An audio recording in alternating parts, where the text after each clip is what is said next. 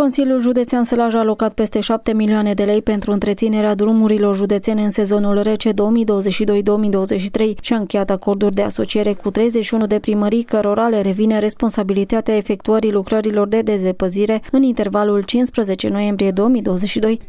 martie 2023. Pe trei artere județene, lucrările de întreținere pe timpul iernii vor fi executate de Societatea Pază Obiective și Intervenție SRL din subordinea Consiliului Județean Sălaj, în timp ce în cazul sectoarelor de drum județean aflate în reabilitare și modernizare, activitatea de dezăpezire intră în sarcina executantului pe toată perioada derulării contractului de lucrări. Le mulțumim primarilor și tuturor celor implicați în activitatea de întreținere a drumurilor județene în sezonul rece. Sunt încrezător că efortul nostru comun va da roade și vom reuși să asigurăm și în această iarnă condiții cât mai bune de circulație pe rețeaua rutieră a Sălajului. Ne dorim să intervenim rapid și eficient ori de câte ori este nevoie și îi asigurăm pe sălăjeni că ne vom da toată silința pentru a face față provocărilor vremii. Pentru eventualele inadvertențe, rugăm cetățenii să nu creadă că suntem neglijenți ori insuficienți de organizat și nici să-și piardă imediat încrederea, întrucât vom lua pentru fiecare situație specială măsuri speciale, a precizat Dinu Iancu Sălăjanu, președintele Consiliului Județean Sălaj. Pentru semnalarea eventualelor probleme generate de îngheț și ninsoare, a pus la dispoziția cetățenilor în numărul de telefon